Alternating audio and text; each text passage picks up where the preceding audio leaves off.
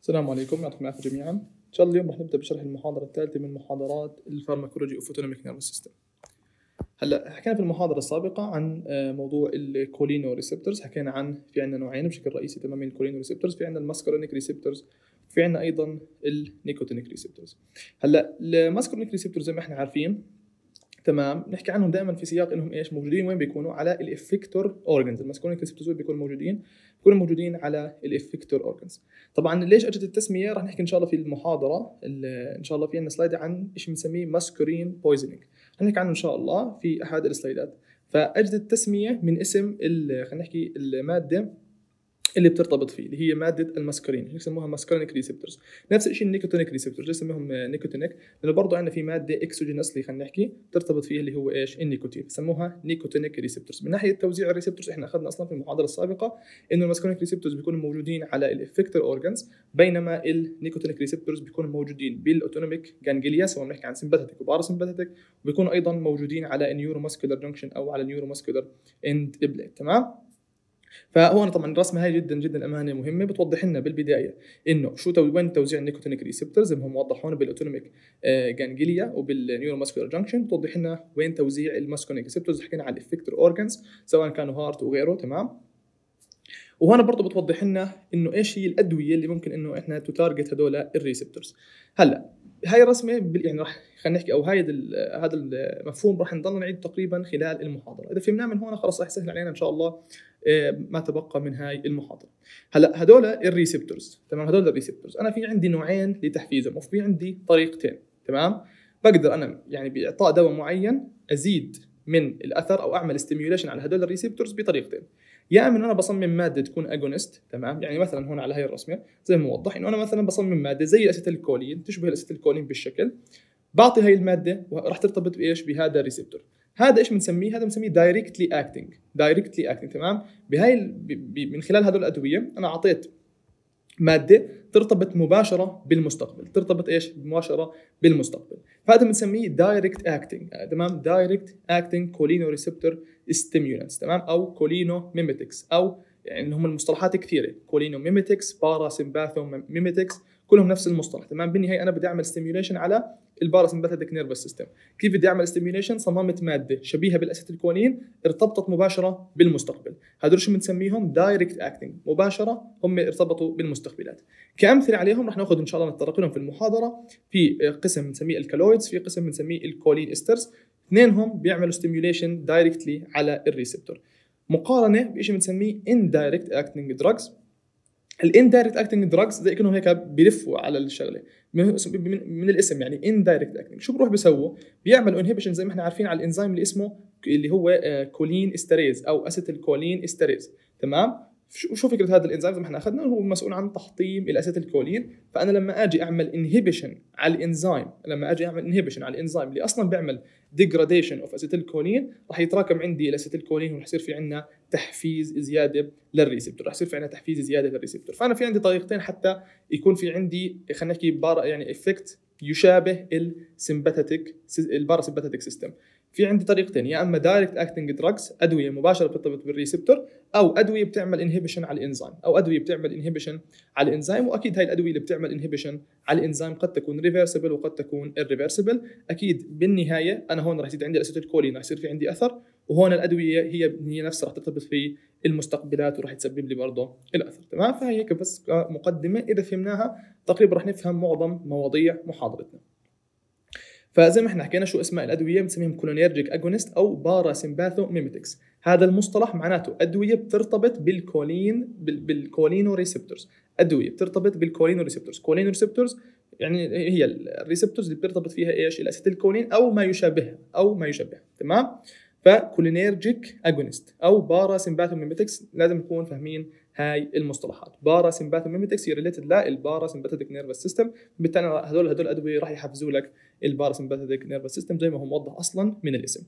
فهم كتعريف حكينا أصلا. هم produce effect similar to those observed during stimulation of post ganglionic parasympathetic nerve fibers or have actions similar to acetylcholine. هم يشابهوا ال acetylcholine. وين بيرتبط acetylcholine هذول بيرتبطوا طيب هلا طبعا إحنا أكيد يعني إحنا لو بدنا نيجي هسه مثلا لو رجعنا هون مثلا لهي ال slide وحكينا أصلا إحنا يعني حتى نحصل على parasympathetic effect أنا مثلا بدي أحصل على parasympathetic effect اللي مثلا في مرض معين وبيضطر إنه أعمل over stimulation على ال parasympathetic مثلا nervous system أعمل target لمين بالضبط؟ أعمل targeting لل muscarinic receptors ولا لل nicotinic receptors؟ المفروض كلكم تحكوا لي أكيد ال muscarinic receptors، عشان هيك مرات يعني تجدوا إنه مثلا بالتعريف بتعريف ال parasympathetic mimetics بيحكي لك إنه هم ال effects بيكونوا observed during stimulation of the post ganglionic parasympathetic، طب مش إحنا حكينا إنه ال parasympathetic mimetic يشمل ال ganglia ويشمل غيرها. ما هو أنت لما تعمل stimulation على ال ganglia هتعمل stimulation على ال parasympathetic nervous system هسه ممكن هاي شوي مش كثير واضحة هلا برجع بعيدها كمان مرة بوضحها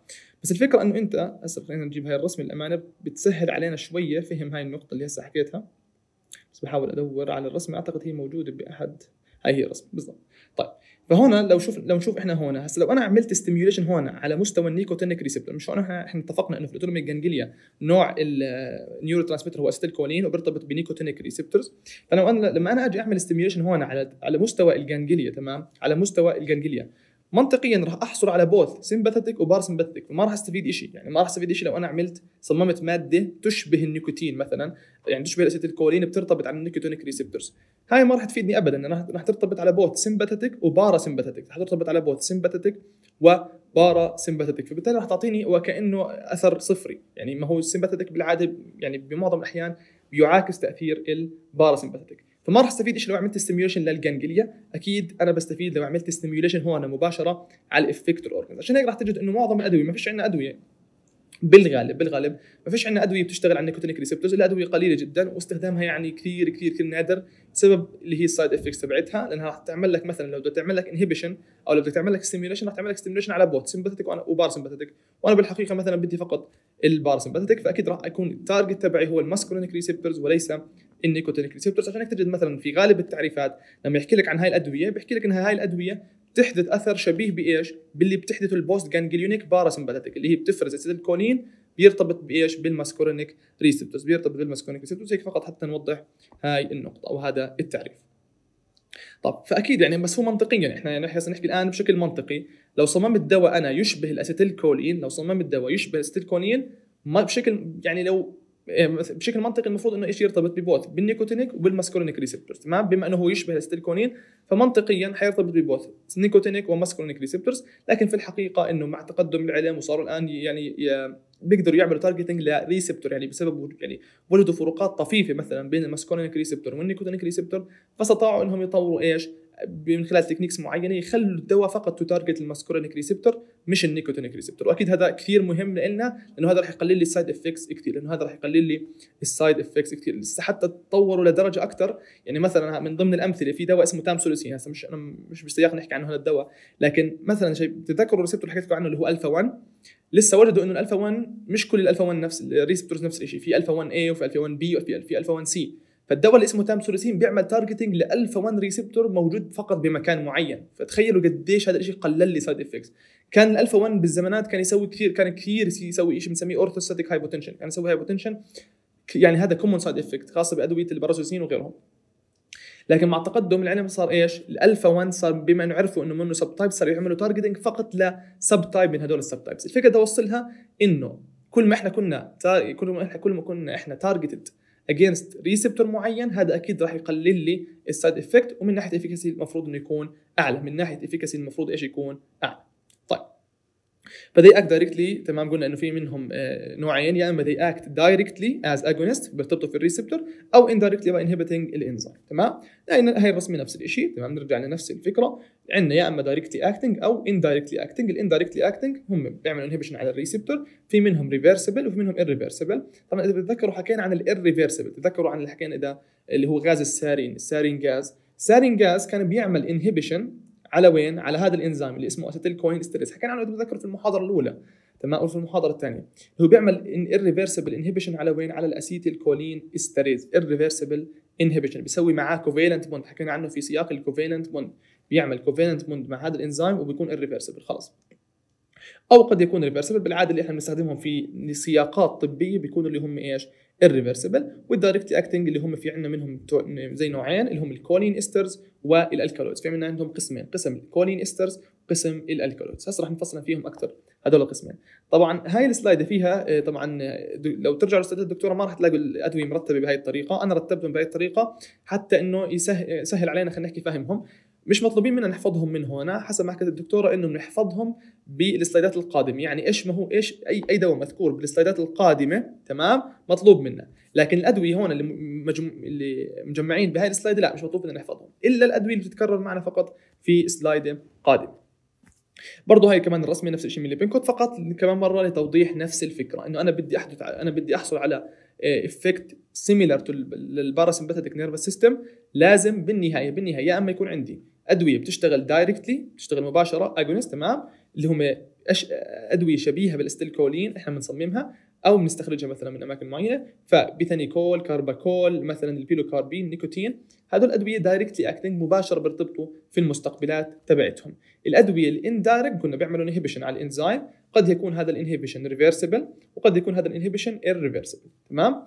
وهذا آخر شيء راح نحكي عنه إن شاء الله في نهاية هاي المحاضرة شيء بيعمل reactivation يعني شايفين الأدوية هاي مثلا دواء اللي هذا اللي هو indirect acting من ضمن هذول الأدوية حكينا عنه تذكروا اللي هو غاز السارين مثلا.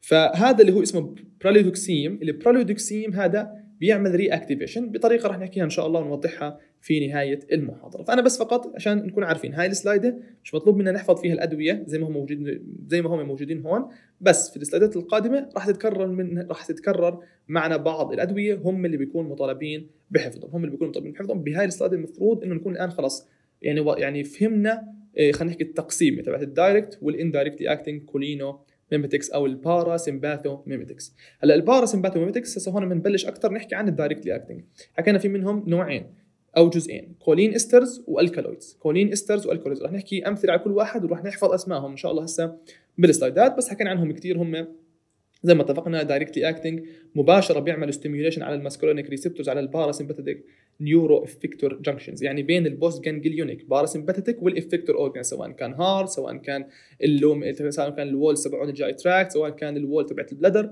bladder whatever المهم neuroeffector junctions قلنا between ال postganglionic parasympathetic neuron و between ال effector organ. هذا هو neuroeffector junction. وبرضه طبعا هو يشمل هذول ال direct acting تتذكروا تتذكروا حكينا لكم إنهم يشملوا الاثنين يشملوا ال agents اللي بتعمل stimulation على ال muscarinic ويشمل ال agents اللي بتعمل stimulation برضه على ال nicotinic برضه بيشملهم الاثنين. لكن أنا من ناحية pharmacology أنا بدي يعني أنا بفضل أكيد هذول اللي بيعملوا stimulation فقط على ال muscarinic تمام؟ لكن هو general speaking المفروض إنه في overlap المفروض إنه نفس ال agent اللي بيعمل stimulation هون ممكن إنه يعمل stimulation هون لكن إحنا بنحاول إنه نخليه as specific as possible نخليه فقط to target specific receptor طبعا ف cholinomimetic drugs can elicit some or all of the effects اللي ال choline can produce هذه النقطة اللي بنوصلها إنه بما إنه شبيه بال acetylcholine ممكن.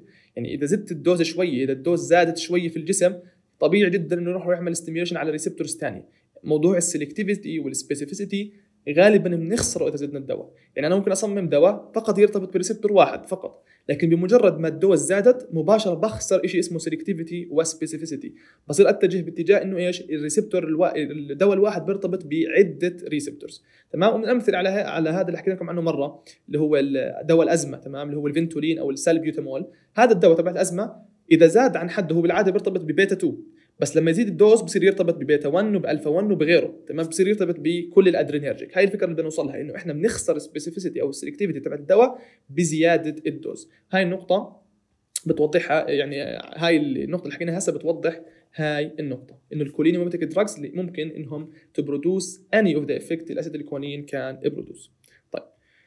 فحكينا في عندنا زي ما ال directly acting drugs في منهم زي قسمين أو جزئين اللي هم ال choline esters و موضوع ال alkaloids ال choline esters وال alkaloids طبعا هون بحكي لنا بشكل رئيسي بهاي السلايد عن ال acetylcholine كال structure تبعه. ال structure تبع ال acetylcholine في منه ما هو اسمه acetylcholine ففي منه acetic part هذا هو ال acetic part وفي منه ال choline part. ال choline part إيش يعني بتميز؟ بتميز بوجود ال... هاي ال quaternary ammonium group تمام؟ فهي عندنا هون الأمونيوم رابط ب four groups ومكتسب شحنة موجبة. فالشحنة الموجبة ال positive charge اللي موجودة هون تمام؟ فعندنا زي ما إحنا حكينا ال acetylcholine في منه two parts ال choline part اللي هو الشحنه الموجبة اللي فيه شحنة الموجبة فيه هاي الأمونيوم وفي عندنا هون ال acetylcholine طيب هلأ شو الفكرة هون؟ هلأ acetylcholine يعني ممكن خطر ببالكم السؤال طب إحنا ليش ما نعطي acetylcholine يعني ليش مثلا نصمم أدوية غير ال acetylcholine طبعا لموضوع أكيد كلكم لازم تحكوا لي بالبداية. السبب الأول إنه ال acetylcholine رح يرتبط بعدة receptors nicotinic واللي موجودة في ال ganglia nicotinic اللي موجودة بال neuromuscular junctions اللي كمان اللي حكيناهم هسه ال muscarinic حيرتبط بعدة receptors وبالتالي أنا ما راح أكو ما راح أحصل على أي أثر specific تمام؟ فهي أول نقطة اللي هو موضوع ال selectivity وال specificity تقريبا يؤول للصفر في موضوع إنه أنا أعطي دواء زي ال acetylcholine دائما إحنا ما بدنا شيء targeted targeted against receptor وحتى إذا كان subtype من ال receptor هذا أكيد بيكون أفضل وأفضل. فال acetylcholine اولا إنه ما راح يزبط عشان قصة ال selectivity وال specificity والنقطة الثانية اللي هي أهم إنه أصلا ال acetylcholine بمجرد ما أنا أعطيه سواء أعطيته IV سواء أعطيته orally مباشرة الجسم راح إنه فيه enzymes يعني خاصة الدم مثلا. الدم فيه انزيم acetylcholinesterase تمام؟ يعني مش إحنا حكينا في على neuromuscular junction في acetylcholinesterase برضه في الدم موجود انزيم acetylcholinesterase فمباشره لو انت اعطيته IV مباشره ما راح تاخذ ال dose معك يدوب عدة ممكن دقائق أو بضع ثواني. ال dose مباشره وكانها راح تتبخر من الجسم بسبب تأثير هذا الانزيم اللي هو acetylcholinesterase تمام؟ فهي نقطة بدنا نكون فاهمينها. طبعا ال acetylcholine هو endogenous substance naturally released من ال cholinergic nerve endings من وين قلنا؟ قلنا أصلا شو اسم ال neuron اللي, اللي شو بنسمي ال neuron اللي بيطلع acetylcholine سميناه cholinergic neuron cholinergic neuron هو neuron that releases ال acetylcholine. وقلنا إنه مجرد ما آه نعطي هذا مجرد ما نعطي ال acetylcholine بسبب وجود الإنزيم في الدم مباشرة بيتم تحطيمه. عشان هيك إحنا ما بنستخدم الكولين ولا وأيضا السبب الثاني لموضوع ال selectivity ك structure هو مكون من choline و acetic acid تمام؟ وهو ال prototype يعني هو الزعيم تبعهم وكأنه تبعت ال small family of choline esters ما هو ال choline esters acetylcholine وهسه رح نحكي أكثر كمان عن ال carbachol methacholine ال bethanechol هذول كلياتهم عائلة بنسميها choline esters تمام؟ استرات الكولين. استرات الكولين هذول بيكون في choline و ester معها. طبعا بنعدل عليها شوي صغيرة زي ما حكينا حتى حتى نظبط موضوع ال selectivity وموضوع ال specificity وحكينا إنه في عندنا quaternary ammonium group هذا اللي بيعطي ال acetylcholine لل charge تمام؟ هذا بيعطي ال acetylcholine charge وبيخليها very hydrophilic و membrane impermeant يعني مش فقط بس موضوع إنه في عندي بيكون في عندي انزيم بيعمل inhibition في الدم برضه موضوع أصلا لو أعطيته orally مثلا مثلا وما راح يكون له قدرة على اختراق ال membranes يعني أعطيته orally فيش قدرة على اختراق ال membranes بسبب وجود الشحنة لو أعطيته IV بسبب وجود ال acetylcholinesterase بالدم مباشرة راح يتم تحطيمه فهو بكل الأحوال ما بقدر أعطيه. وأيضا لموضوع حكينا عن موضوع ال selectivity وموضوع ال specificity طبعا يا جماعة أنا هون بس هاي هي زي ما حكينا دائما إشارة النجمة هاي. تعني إنه هدول الأشياء اللي موجودة هون يعني هدول الرسمات موجودين ب slides الدكتورة بس الدكتورة ما بتطلب structures ما بتطلب ال structures بس هم يعني أصلا واضحة يعني هلا الكولين واضح جدا؟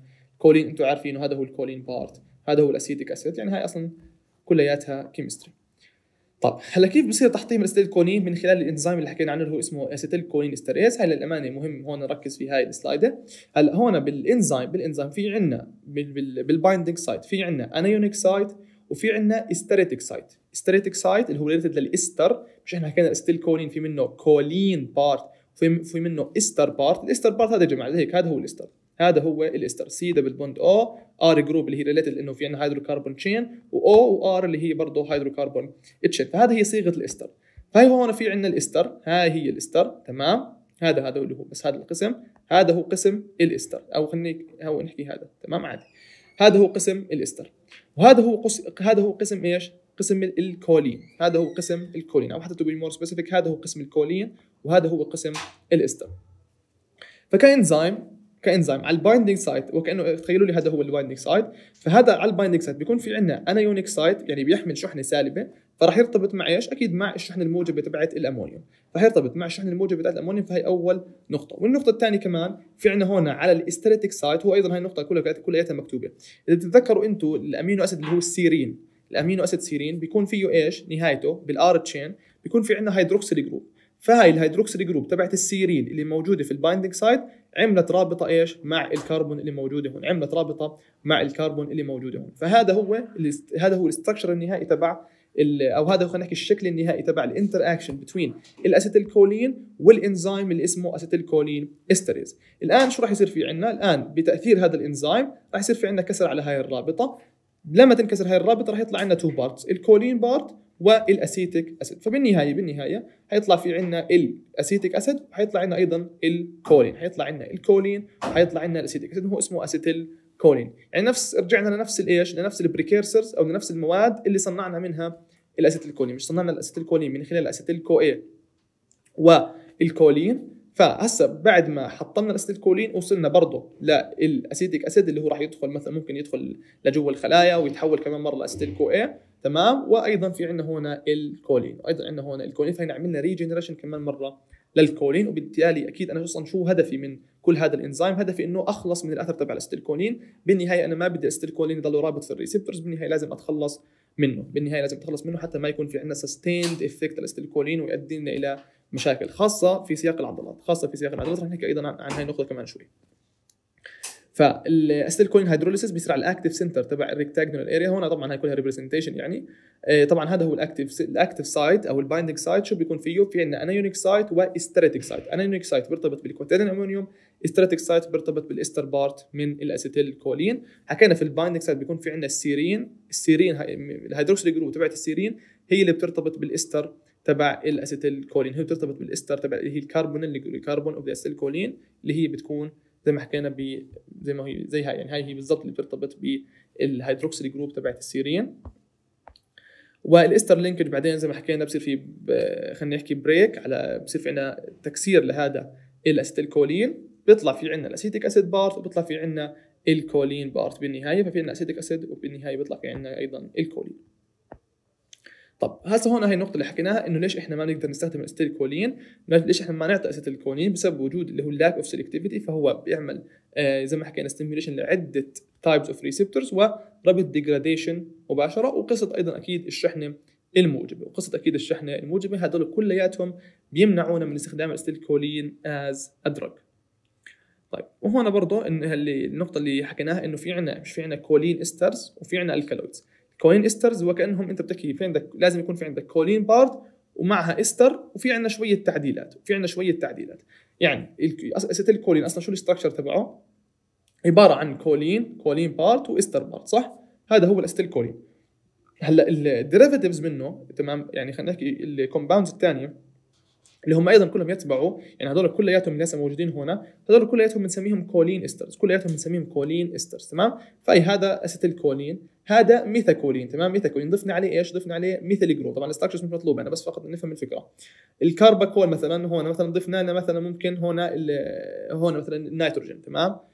ال bethanechol ضفنا ال methyl وضفنا برضه النيتروجين. فالفكرة هون إنه أنت نفس ال structure بس بتعدل عليه شوي صغيرة. وهون برضه يا جماعة نستذكر شغلة حكيناها برضه في المحاضرة الأولى. تذكروا حكينا شيء اسمه structure activity relationship analysis تذكروا هذا المصطلح؟ structure activity relationship analysis تذكروا لما حكينا إنه في عندنا دراسات بيسووها لحتى فقط إذا ضفنا إحنا group معينة شلنا group معينة هذا الإشي كان يغير إيش؟ بال activity تبعت هاي المادة. هذا هو هذا هو برضه يعني مثال عملي على قصة ال structure activity relationship analysis إنه ال activity تبعت ال substrate أنا تختلف باختلاف إيش؟ تختلف باختلاف فقط بعض ال groups. يعني بضيف بعدل ال groups بصير يرتبط مثلا ب selectivity وب specificity أعلى بصيروا بيختلف ال half بيختلف عنده ال pharmacokinetics ممكن ال metabolism وال excretion فقط بإضافة بعض ال groups فقط بإضافة بعض ال groups. فهي يعني هذا ذكرناها ربطناها بمصطلح من المحاضرة الأولى اللي هو كان اسمه structure activity relationship analysis تمام؟ ف acetylcholine methacholine carbachol و bethanechol هذول مكتوبين نكون عارفينهم.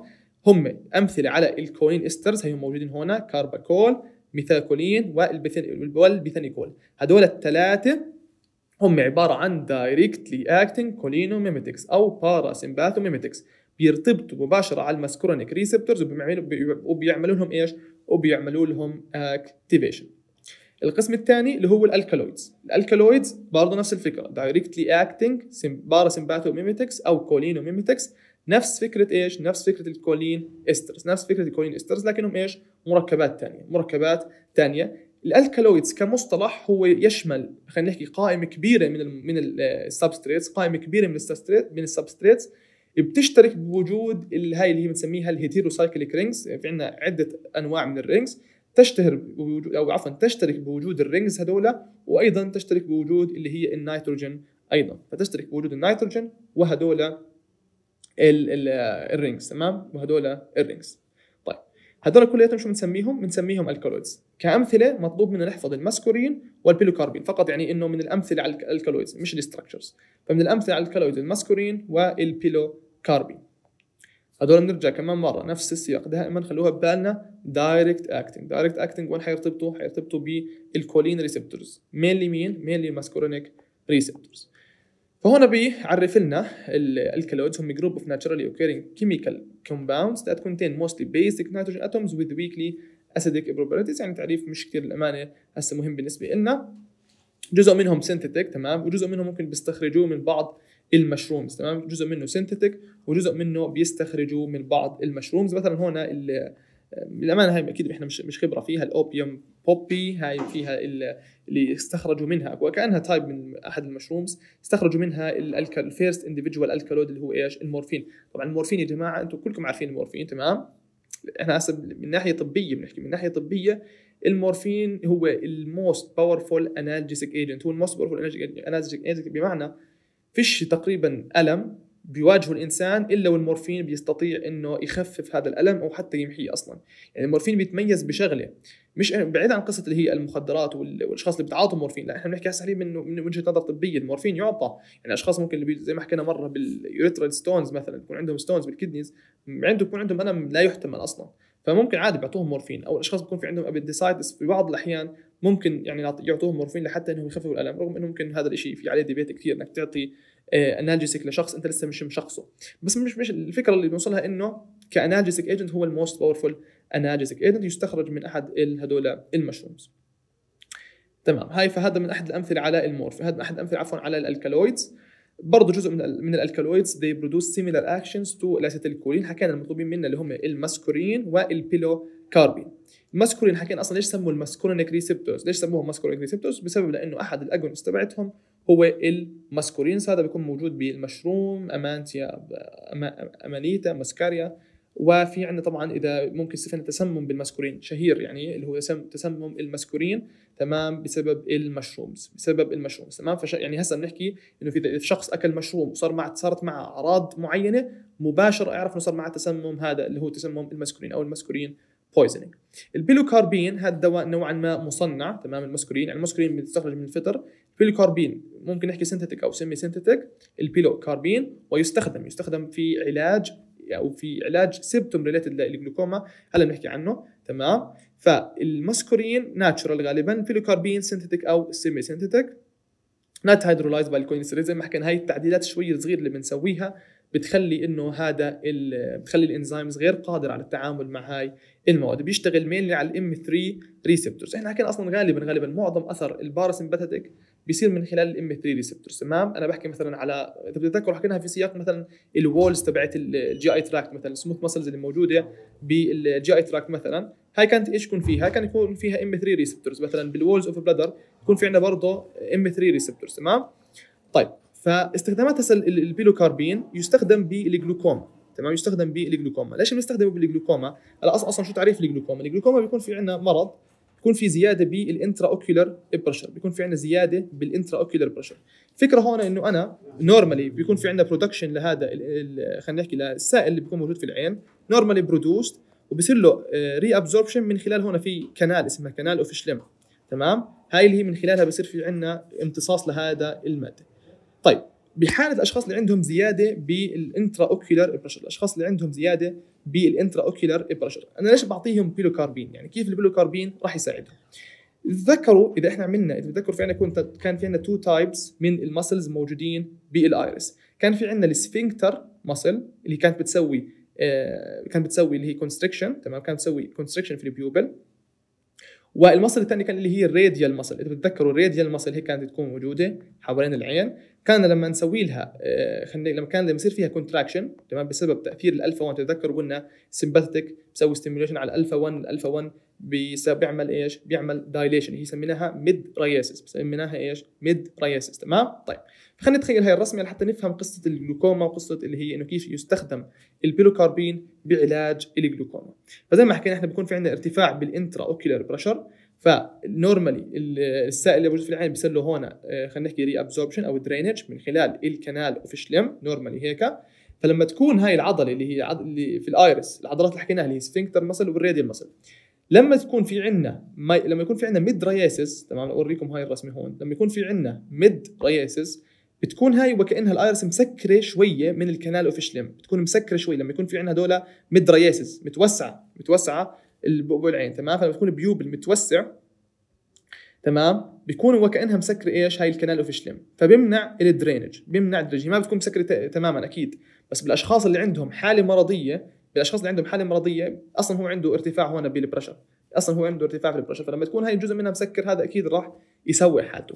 فليش بنعطيه pilocarpine؟ لما لأنه لما يصير في عندنا ال miosis لما يصير في عندنا ال miosis وكأنه هاي العضلات بتنسحب عن ال canal of Schlemm بتنسحب عن ال canal of Schlemm فبالتالي بصير في عندنا drainage وبالتالي تساهم بحل المشكلة اللي عند هذا المريض اللي هو مريض الجلوكوما اللي بيكون في عنده زيادة بال intraocular pressure هاي هي الفكرة تمام؟ فلما يصير لل iris sphincter contraction مش حكينا إحنا ال sphincter هو بيكون في M3 receptors بينما ال radial muscle تمام؟ بيكون فيها الالفا 1 receptors ووضحنا إنه كيف ال sympathetic وال parasympathetic بيأثروا على ال pupil diameter تمام؟ فنقدر نستخدم نفس المبدأ إنه لما تعمل أنت تعطي pilocarpine هذا ال pilocarpine راح يزيد ال acetylcholine لما يزيد ال acetylcholine راح يرتبط ب راح تصير في عندنا ال iris contracted لما تصير ال iris contracted راح تسحب ال muscle عن ال canal of Schlemm فبالتالي راح يصير في عندنا drainage وهذا راح يخفف من يعني أو راح يساعد في علاج الجلوكوما راح يساعد بعلاج الجلوكوما فهي النقطة اللي يعني هسه لو هيك خلينا نحكي نرتب الأمور في بالنا. في عندنا two types في عندنا alkaloids وفي عندنا choline esters اثنينهم بيعملوا هم directly acting اثنينهم directly acting بيرتبطوا في ال receptors مباشرة. حكينا من ضمن الأمثلة على ال choline esters من ضمن الأمثلة على الكولين استرز الاسيتيلكولين الميثاكولين البيتا والبيتانيكول والكارباكول بيتانيكول كارباكول ومن الأمثلة على alkaloids حكينا ال pilocarpine وال muscarine. طيب هلا في زي ما إحنا حكينا حالة شهيرة جدا حالة شهيرة إذا شخص أكل أو تسمم بالمشروم اللي هو ال muscarine poisoning طب هل إحنا راح نحفظ الأعراض اللي بتسببها؟ المفروض إنه ما نحفظش ولا عرض كلياتهم راح يكونوا منطقيات. كل الأعراض اللي هسه راح نشوفها بال muscarine poisoning راح تكون منطقية. يعني إحنا عارفين إنه نبلش فيهم system system تمام؟ هسه مبدئيا مبدئيا شو راح يصير في عندنا على ال airways زي ما إحنا عارفين على ال airways مباشره راح يصير في عندنا أول شيء بنحكي bronchoconstriction هذا الشيء كلياتنا إحنا عارفين انه الماسكولين راح يعمل stimulation على parasympathetic nervous system زي ما إحنا عارفين لأنه هو direct لأنه هو الماسكولين من ضمن ال directly acting طبعا إحنا صح حكينا شغلة هون أنا آسف ال pilocarpine تمام هو direct acting أنا بعتذر حكيت هاي المعلومة. ال pilocarpine حكينا إنه راح يزيد ال acetylcholine أنا بعتذر هون في هاي هسه قبل شوي. تمام؟ ال pilocarpine ما بيزيد ال acetylcholine هو نفسه بيشتغل مباشره على ال muscarinic receptors فبيسوي لك ال contraction وإلى آخره. أنا هاي نقطة خربطنا فيها مش مشكلة. طيب. بس لتصليح المعلومة لأنه أنا حكيت أنا حكيت قبل شوي إنه ال pilocarpine بيزيد ال acetylcholine فلا لا مش هيك لا. هو خربط بينه وبين دواء ثاني تمام؟ تقريبا لهم نفس الاسم. طيب. فنرجع لموضوعنا موضوع ال muscarine poisoning تمام؟ فبيعمل زي ما اتفقنا ال muscarine وال pilocarpine مباشرة بيرتبطوا بال muscarinic receptors انهم إيش؟ direct acting فلما يعمل مثلا آه، قلنا مثلا على على مستوى ال airways بيعمل bronchoconstriction على مستوى ال GI system راح يزيد لك ال contractility عشان هيك من ضمن الأعراض هتلاقي في عندك diarrhea هتلاقي عندك في عندك abdominal pain abdominal cramps تمام؟ هذول كلياتهم بيكونوا أعراض أكيد مصاحبة لل muscarine poisoning اللي هي abdominal pain أكيد على المستوى ال respiratory رح يكون في عندنا bronchoconstriction. على مستوى ال heart أكيد إحنا عارفين الماسكورين حيرتبط بال receptors اللي هو ال M 2 receptors الموجودين في القلب. هيعملوا لك bradycardia هيعملوا لنا bradycardia تمام؟ فهي كمان شغلة. على مستوى مثلا بؤبؤ العين هسه أصلا حكينا قبل شوي حكينا ال miosis وإحنا أصلا حكينا إنه ال pilocarpine نستخدمه لحتى يسوي ال miosis ويعالجنا الجلوكوما. تمام؟ أيضا على موضوع ال bladder رح يصير فيها contractions تمام؟ فايضا ممكن يؤدي إلى urinary urgency وممكن incontinence urgency يعني خلص مباشرة هلأ بده يروح الحمام مش قادر بيكون. ف urinary urgency أكيد موضوع ال nausea حكيناه موضوع ال diarrhea ال diaphoresis هي مهم يكون عارفينها طبعا. ليش؟ طبعا ممكن بعضكم يسأل طب هاي sympathetic مش ال diaphoresis وال sweating sympathetic بس أكيد كلياتنا بنتذكر الرسمة اللي هسه قبل شوي حكيناها كلنا بنتذكر إنه ال sweat gland specifically هي تابعة لل sympathetic nervous system بس هذا حكينا من ضمن ال exceptions إنه ال postganglionic ال postganglionic sympathetic تفرز acetylcholine وال sweat gland شو فيها؟ فيها muscarinic receptors هاي النقطة عدناها مرارا وتكرارا فبالتالي برضه راح يصير في عندنا diaphoresis فهل اضطرينا نحفظ أي عرض؟ المفروض إنه لا. أكيد طبعا excessive salivation وال lacrimation كلها حكيناها طبعا. وكل ما زادت ال dose الأعراض راح تصير more severe كل ما زادت ال dose ممكن تصير الأعراض more severe ال death مش common إنها تصير بال muscarine poisoning لكنها ممكن تصير بسبب إما respiratory failure أو cardiac failure cardiac failure غالبا بسبب إيش؟ ال hypotension اللي بيصير بسبب ال severe bradycardia حكينا إنه هو لما يصير عندك أنت ال heart rate ال bradycardia تعريفها أقل من 60 فكل ما زادت ال dose ال bradycardia راح تصير severe أكثر هذا كلام إيش؟ ممكن ياثر بالنهاية يؤدي عندنا إلى cardiac failure تمام؟ هاي نقطة. وال respiratory failure بسبب لأنه إحنا إحنا عارفين ال diaphragm هي عبارة عن skeletal muscle فأنت لما بدك تعمل stimulation على skeletal muscle بالنهاية راح تؤدي إلى شيء بنسميه؟ tetanization تمام؟ tetanization هذا ال tetanization هو راح يعمل إيش؟ ال respiratory failure بالعادة وبالإضافة إلى أصلا موضوع ال broncho أصلا هذول الأشخاص عندهم already bronchoconstriction طب كيف نعالجه؟ شخص أكل مشروم وتسمم ووضحت عليه الأعراض. كيف نعالجه؟ راح نعالجه بشيء بيعمل inhibition على نفس الايش على نفس ال muscarinic receptors اللي هو الدواء اللي اسمه ال atropine. antidote يعني الترياق. ترياق يعني دواء بعطيه it's a drug that is given to counteract the effect of another drug. دواء بعطيه بيعاكس counteract يعاكس الأثر تبع الدواء. فأنا عط... أنا أنا أنا بهاي الحالة مش ما أعطيت دواء. شخص تسمم بماسكورين تسمم بالماسكورين بعطيه الترياق الأتروبين. ليش بعطي أتروبين؟ الأتروبين راح يعمل inhibition على ال M 3 receptors فهو عبارة عن antagonist مش على ال M 3 على ال muscarinic generally speaking تمام؟ فالاتروبين هو antagonist على ال muscarinic receptors على ال muscarinic receptors. رح ناخذ إن شاء الله وله أيضا استخدامات. طبعا ما بنستخدم اتروبين بنستخدم derivatives منهم نحكي عنهم إن شاء الله في المحاضرات القادمة. فشو بنستخدم؟ الترياق ال atropine. ال atropine تمام؟ ليش بنستخدم اتروبين ما هو الماسكولين بيعمل stimulation على ال muscarinic receptor. فمنطقيا إذا أنا في عندي agonist شو بدي أعطي؟ بدي أعطي antagonist لحتى يأثر اللي هو اللي حتى يعكس أثره اللي هو إيش؟ اللي هو الاتروبين. طيب فحكينا عن ال direct acting حكينا عنهم فصلنا فيهم تماما. حكينا عن two types alkaloids وال choline esters. حكينا عن بعض الاستخدامات وحكينا عن تسمم المسكورين وكيف بنعالجه. لحد الآن يعني هذا هذا كل شيء حكينا عنه في المحاضرة لحد الآن. هلأ في عندنا ال indirectly acting هسه اللي حكينا اللي حكينا عنهم أيضا في بداية المحاضرة كمسمى حكينا بيعملوا inhibition على ال cholinesterase inhibitors على ال cholinesterase تمام؟ هم inhibitors على ال cholinesterase بيعملوا inhibition عن هذا الانزيم فبالتالي راح يزيدوا ال level تبعت ال acetylcholine راح يزيدوا ال level تبعت ال acetylcholine في منهم كثير هدول خلينا نحكي من ضمن الأسماء بس في منهم موجودين بنكون عارفينهم. هلا في عندنا من ضمن ال edrophonium. طبعا ال edrophonium هذا يستخدم في التشخيص لمرض اسمه myasthenia gravis ال neostigmine يستخدم في علاج ال myasthenia gravis فهذول الأدوية يستخدموا يعني ما تفكروا إنهم هيك فقط. هذول الأدوية يستخدموا. طبعا ليش في منها كثير منهم؟ لأنهم بيختلفوا بال pharmacokinetics تبعتهم وبيختلفوا بال side effects عشان هيك راح تلاقوا في كثير أدوية. يعني ليش ليش دائما لما نحكي عن أي شيء تلاقوا في منه أكثر من دواء؟ أكثر من دواء هاي معناته إنه كل دواء له pharmacokinetic properties خاصة فيه فيه تعديلة بسيطة. زي ما اتفقنا في قصة structure activity relationship analysis وفي بعضهم مثلا له side effect بعضهم ما لهم side effects فعشان هيك إحنا في عندنا كثير من الأدوية موضوع ال alternatives دائما بيساعدنا. موضوع ال alternatives هذا جد جد كثير كثير مهم. يعني في اماكن أدوية بنعطي أدوية مثلا اللي عندهم renal failure ما بقدر أعطيه. فلحسن حظنا بيكون في عندنا دواء مثلا ما بيصير له elimination من خلال ال kidneys فبقدر أعطيه لمريض. بقدر أعطيه لمريض مثلا عنده renal problems تمام؟ أو renal failure تمام؟ فهي النقطة اللي بنوصلها. إنه ليش دائما دائما عندنا كثير أدوية من نفس العائلة بسبب اختلافهم بال pharmacokinetic properties واختلافهم بطرق ال elimination واختلافهم أيضا حتى في بعض الأحيان بموضوع ال activity فمن ضمنهم في عندنا ال edrophonium تمام؟ وال carbamic acid esters اللي هم إيش؟ ال neostigmine وال carbaryl وال carbaryl تمام؟ فال carbaryl اللي هذا من ضمن ال carbamic acid esters neostigmine و carbaryl هذول إيش؟ reversible أنا أهم شيء هذول تكونوا عارفينهم. إنهم reversible ال reversible اللي هم زي ال organophosphates تمام؟ وغالبا هذول بيلحقوا في سياق المبيدات الحشرية ال organophosphate اللي هم ال insecticides ال echothiophate وال soman وال malathion غالبا بنحكوا زي ما حكينا في سياق المبيدات الحشرية بالإضافة لغاز السارين اللي حكينا عنه مرارا وتكرارا نستخدم ضد الشعب السوري تتذكروا حكينا عنه في المحاضرة الأولى اللي هم ال sarin gas. ال sarin gas بيرتبط بشكل irreversible بالإنزيم اللي اسمه acetylcholinesterase لما يصير له irreversible inhibition حيتراكم عندك ال acetylcholine يا جماعة فبتلاقوا الأشخاص هذول للأسف بصير في عندهم تشنجات بتلاقي إنه كل جسمه عم بينتفض.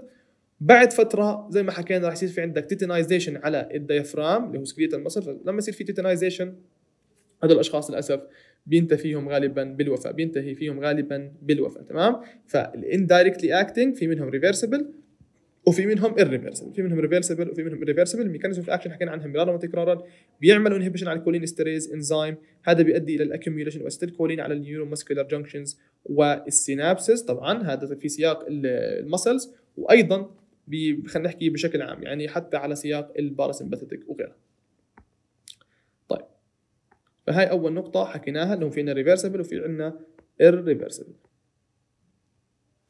هلأ نحكي شوي عن ال poisoning بما إنه حكينا عن ال muscarine poisoning ال organophosphate poisoning تمام؟ زي ما إحنا حكينا هدول عبارة عن insecticides agricultural insecticides war weapons زي ما إحنا حكينا اللي هسه في سياق ال sarin gas مشكلتهم إنه هذول يعني في في حال استخدامهم زي ما إحنا حكينا بحالة ال war weapons مشكلتهم إنهم ال absorption تبعهم خلال حتى ال skin يعني تخيل إنه دواء highly absorbed من خلال ال skin يعني للأسف ما ما بيزبط معاه شيء ما بيزبط معاه شيء تمام؟ ف highly absorbed من خلال ال skin بيعمل irreversible inhibition على الانزيم خاصة بنحكي عن ال sarin gas فهي هي مشكلتهم للأسف. طيب هلا وين بيعملوا reaction هدول؟ شو فكرتهم أصلا؟ لو إحنا نيجي نحكي على الإنزيم مش حكينا دائما الإنزيم في منه الإنزيم بيكون فيه two sites anionic site و esteratic site هدول ال organophosphate شو شو بيجوا بيسووا؟ بيعملوا على ال esteratic على ال esteratic site أو على ال esteratic site بيعملوا covalent bond بيعملوا إيش؟ بيعملوا covalent بس بالبداية هاي ما بتكونش covalent هلا بنحكي عنها كمان شوي. تمام؟ فبيجوا بيرتبطوا بالأكسجين اللي موجودة وين؟ مين اللي بيوفرها؟ مين؟ السيرين. بيرتبطوا بالأكسجين اللي بيوفرها إيش؟ السيرين اللي هو ال amino acid serine. فأول شيء بيرتبطوا عادي أول شيء بيرتبطوا عادي ما بتكونش covalent بعد تقريبا ثلاث ساعات أربع ساعات بتصير هاي الرابطة covalent هاي هي المشكلة تمام؟ فليش أنا حكيت هاي الجملة؟ إنه بأول كم من ساعة ما بيكونوش covalent بعدين بيصيروا covalent لأنه إذا أنت لحقت واحد متسمم ب organophosphate خلال أول ثلاث ساعات سهل جدا إنه يعني تنقذه سهل جدا تنقذه لأنه بمجرد ما تعطيه دواء اللي حكينا عنه في بداية المحاضرة اللي اسمه pralidoxime. تذكروا الدواء اللي كان اسمه pralidoxime هذا ال pralidoxime ال pralidoxime قادر على إنه يمنع ارتباط هذا ال organophosphate بالإنزيم. بيقدر وكأنه يحرره. هلأ هو بالبداية بيكون رابط. تمام؟ بالبداية بيكون رابط فيه. بس هاي الرابطة لسه مش stable مش covalent bond لسه هاي الرابطة مش covalent bond فهذا ال pralidoxime قادر على إنه يحرر هذا الإنزيم من ال organophosphate. إذا متى؟ إذا ما تكونت الرابطة التساهمية. يعني within ال first 3 to 4 hours من تسمم الشخص بال organophosphate إذا أعطيته pralidoxime أنت بتنقذه فبتمنع هذا الانزيم إنه يرتبط بال organophosphate فهذا بهاي الحالة الأمور تمام. بهاي الحالة الأمور تمام. هسه بنحكي أكثر عن ال management of organophosphate poisoning لكن بعد ثلاث أربع ساعات خلص بصير بصير الارتباط irreversible. بصير الارتباط irreversible. تمام؟ فهي النقطة. اللي بنحكيها طبعا ك structure هذا هو ال organophosphate بيشتركوا بالعادة في عندنا أكيد ال phosphorus atom رابطه باكسجين ومعها عدة groups hydrocarbon chains و other atoms تمام هي ك structure طيب فال organophosphate كمان مرة وين بيرتبطوا؟ بيرتبطوا مع ال anion بيرتبطوا مع ال esteratic site على ال esteratic site تمام؟ هاي النقطة بدنا نكون عارفينها.